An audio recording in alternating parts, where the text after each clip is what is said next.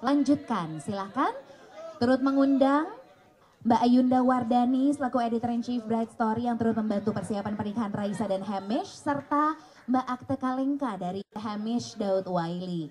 Tadi Alhamdulillah pernikahan mereka akad nikah telah dilaksanakan pukul 9 waktu Indonesia Barat di Hotel Ayana Mid Plaza Jakarta.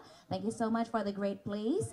Dan tentunya untuk mengetahui lebih lanjut detail pernikahan ceritanya, mari kita mulai saja acaranya dan ngobrol-ngobrol langsung dengan yang sudah siap di depan. Coba ini pertanyaannya udah uh, proses lagi cuman tenang, semuanya bakal kita jalan dari tadi ya mengikuti rangkaiannya. Mungkin yang belum tahu nih, duga-duga ya, menerka-nerka gitu. Silahkan.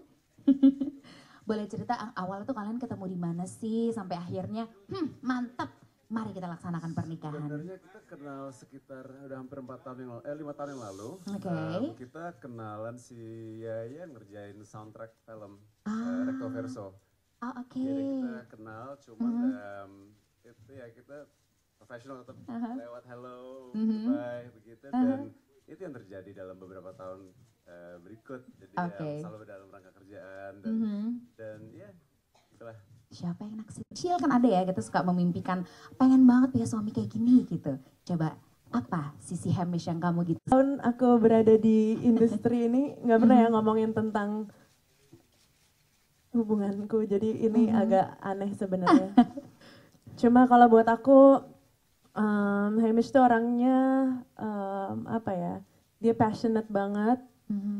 um, passionate in what he does in life mm-hmm. in me dan mm-hmm. dia dari pertama nggak pernah ragu mm-hmm. um, sama aku jadinya aku juga nggak ada alasan untuk ragu sama dia terus apa lagi ya ngemong oh, oh. unci ya unci dia apa ya dia ngemong dan mm-hmm. uh, protective of me which is what I need yes dan ya pokoknya gitu deh hmm, nggak ada kata-kata ya no words can describe kalau dari Hamish sendiri gimana? Kalau buat saya saya jawab bahasa Inggris nggak apa-apa ya? It's okay. bahasa Sunda aja. Boleh.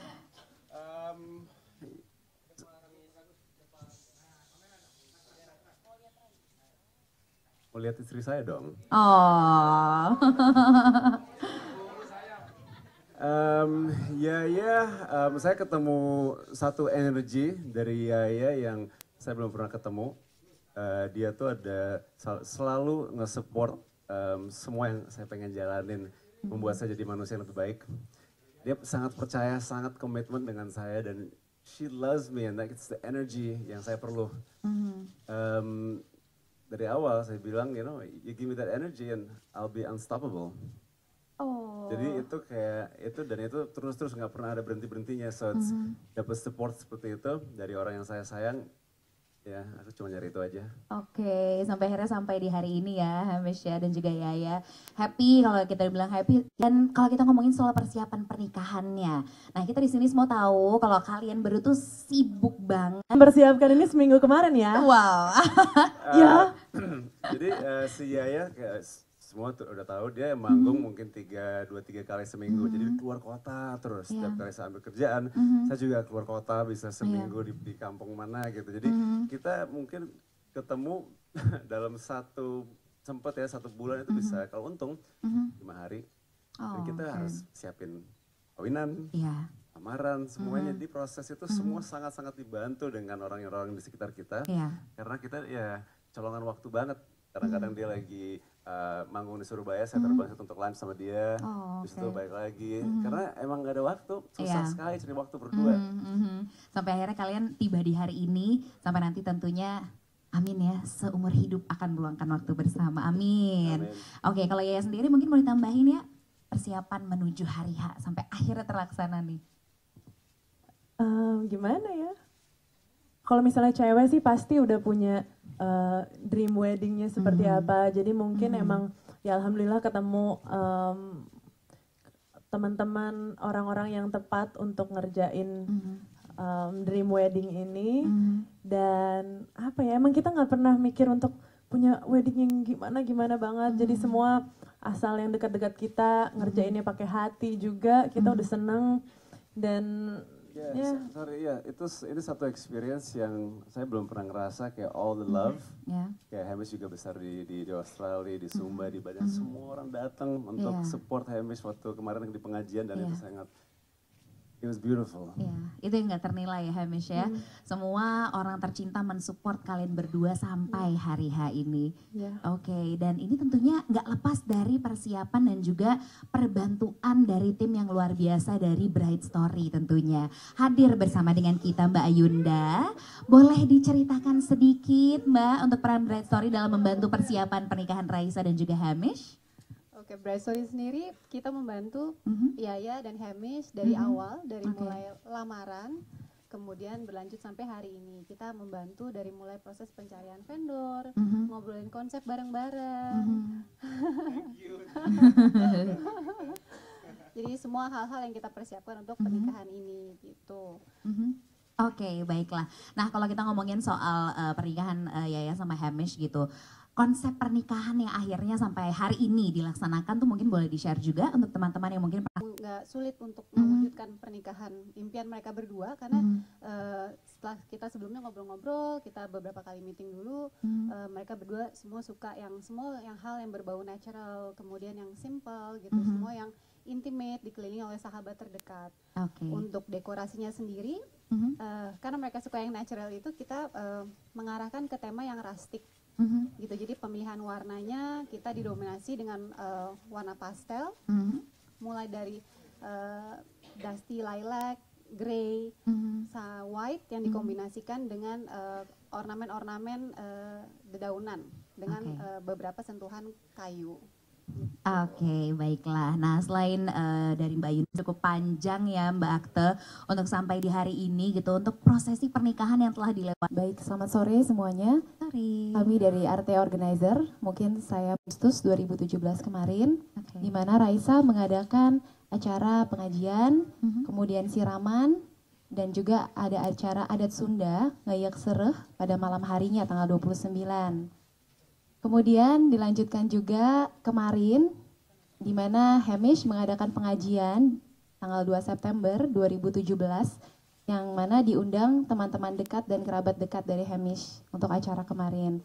Dan hari ini tanggal 3 September, rangkaian acara pernikahannya dimulai dari acara akad nikah pada pagi hari yang dimulai pukul 9 pagi tadi. Yang puji Tuhan berjalan dengan lancar, alhamdulillah.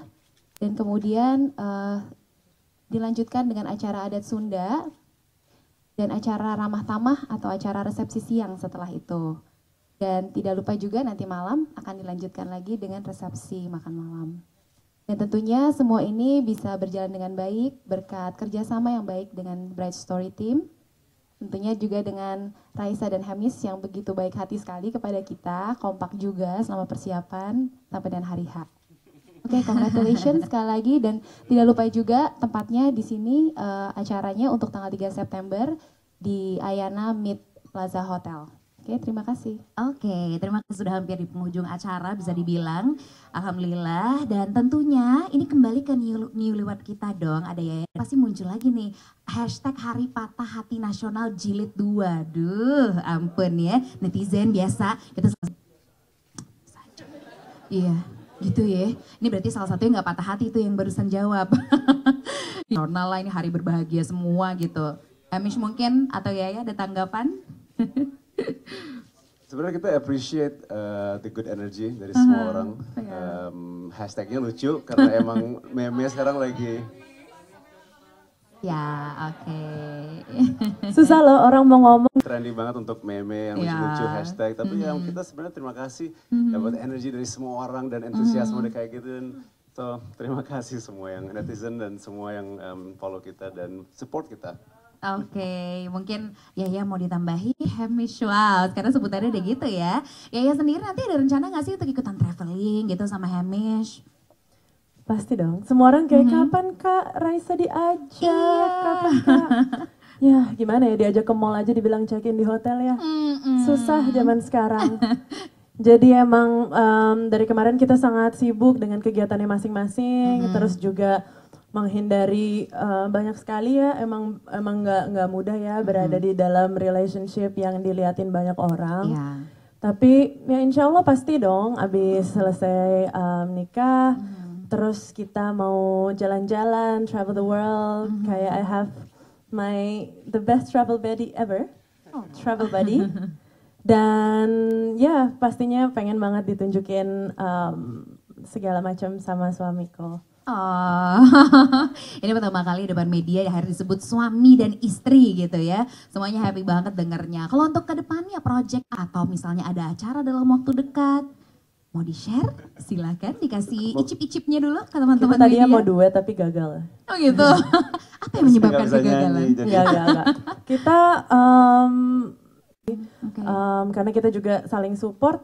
Saya dengan um, nyanyi, terus di akhir tahun juga akan um, ngeluarin sesuatu yang baru lagi. Ah, oke. Dan kayaknya Hamish juga begitu. Ya, I mean sekarang aja kita mengerjakan the stuff that we love.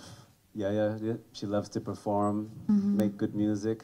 Buat saya sendiri, I love to conservation, education. Ya. Um, jadi uh, untuk ke depannya saya akan lebih involved di situ, uh, konservasi lingkungan dan um, edukasi pendidikan. Oke. Um, dan ya harus lihat nanti